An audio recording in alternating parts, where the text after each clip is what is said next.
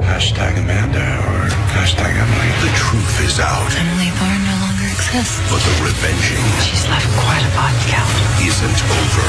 You have any idea what you've exposed me to? New Revenge, Sunday, April 12th on ABC.